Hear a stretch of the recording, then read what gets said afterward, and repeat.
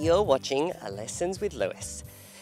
Dinosaur story. A Lessons with Luis story of the dinosaurs. New clothes. In today's episode, you will be learning about the story of the history of the dinosaurs.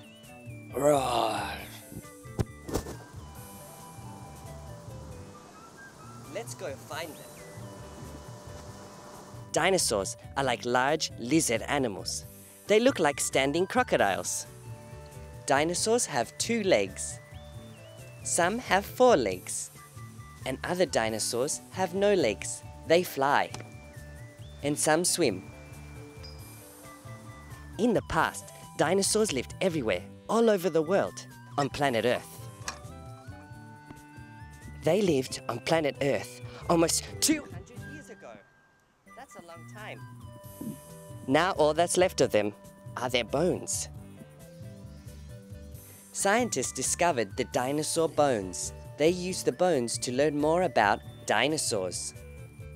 Scientists also gave dinosaurs their long names. These names are called scientific names, but they also gave them nicknames to remember them easier.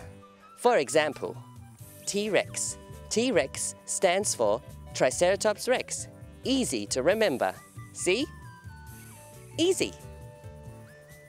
Dinosaurs also come in different colors. This is an example of a spotty dinosaur. Look at its exotic colors. You can add your own choice of colors.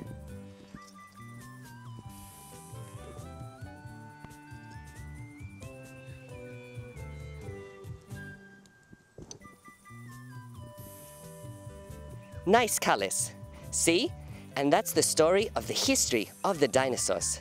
Thank you for. Roar. Run. This has been a Lessons with Luis production film video.